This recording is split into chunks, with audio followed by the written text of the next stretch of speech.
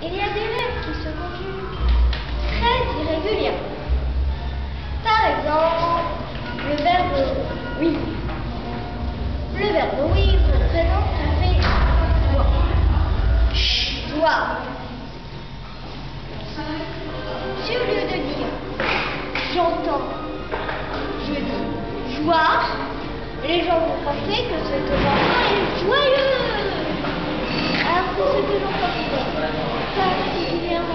please.